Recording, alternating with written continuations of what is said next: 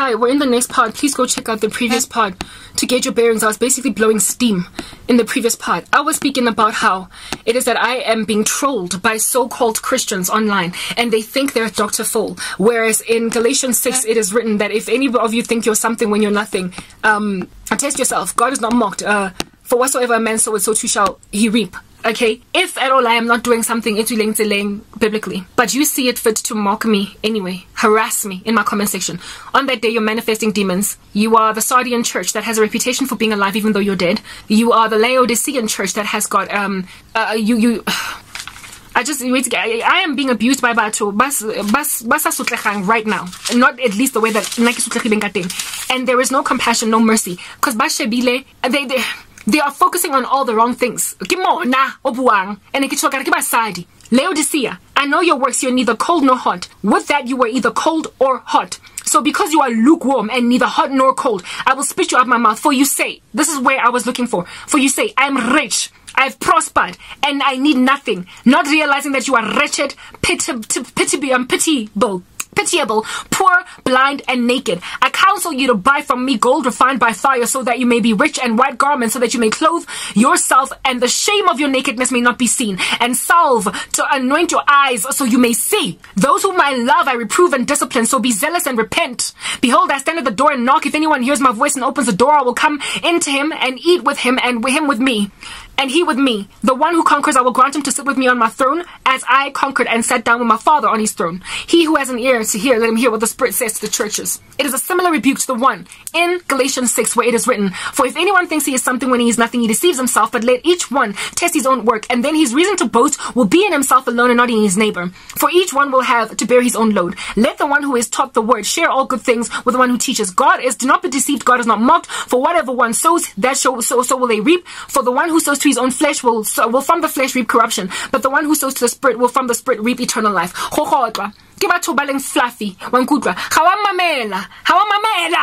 everything that i'm speaking the comment again it causes the rest of the trolls grand up the original comment it wasn't even that bad ha ke bona ne ke nka nako i was taking my time to respond to, to the comments and I was gonna get to that guy's comment to give him a context, understanding. Cause comment was in and of itself not bad. And it was a guy or commenting. Mara di yes like guys I call women. Women ke ha le ka itlhakola wa nkutlwa. Mona wa lona wa le lo ravaza, wa le butsiswa, wa le butswisa and all sa di heleng.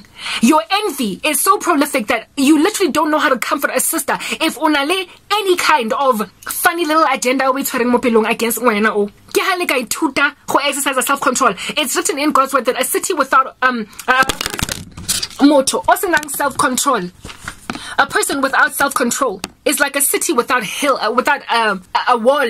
Anything can come and go kamuhar. So also exercise self-control.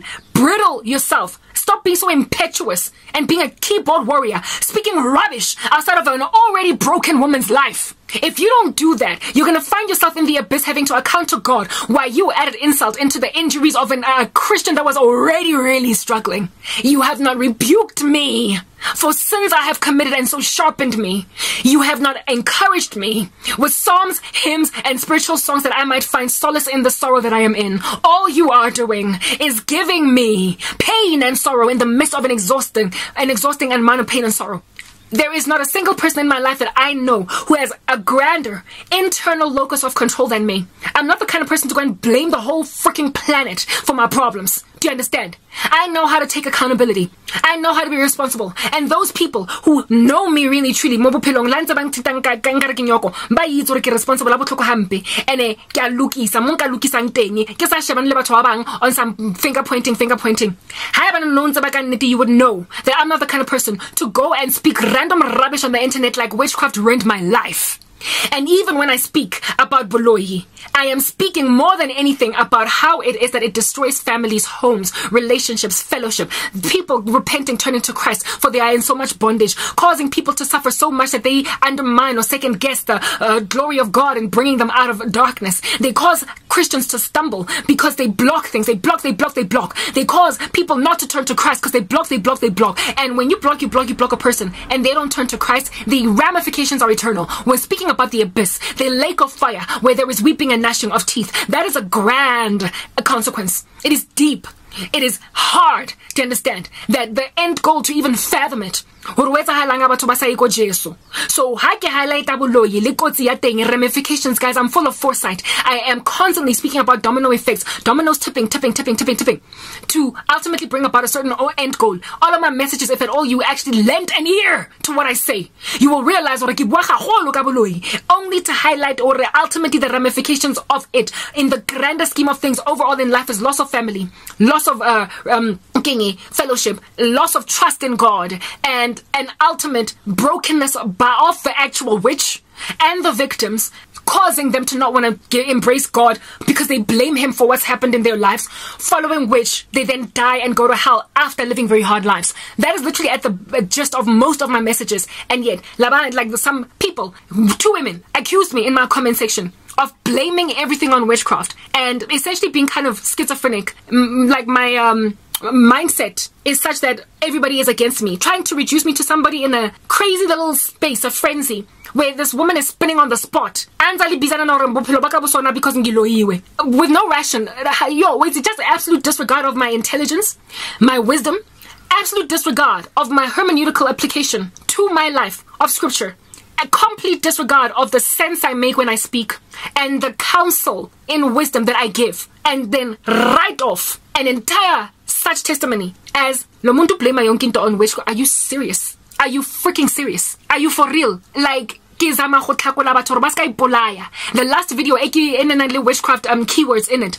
Ne ke how it is that god showed me multiple deaths rick a tlhokafala over and over and over and over again. Modimo a mpontsha gore baloi ba batho ba ntse le busy ba operata mo occulting ba tlo qena ba ipolaile ba na le basadi le bana kao fela and i am standing in the gap like aaron to try and prevent masu a bona go ba bontsha gore ba deceived and satane o bankile a ba swear left to right a ba fa di di di di riches. Ha e ka mo ba ba cause depression into a point where he would speak sweet nothings into their ears until they kill themselves. I'm literally trying to highlight that witchcraft causes people to de be demised ultimately to a point where ha ba kgone go mamela modimo because they have already engaged in spiritual things and so they don't think that there is power in goodness, in just plain good old fashioned simple prayer. So because what's happening, the paraphernalia hectic, they have to twist over, bend over backwards, right into the strange go occulting. Because baboni like that level of hard work just to get to what you want to a point of desecrating yourself as a human being. When they think they feel about just pure prayer, pure turning to Christ, to them it's like it doesn't work because it doesn't involve all these funny antics that are involved in the occult. And that's what causes them to commit suicide.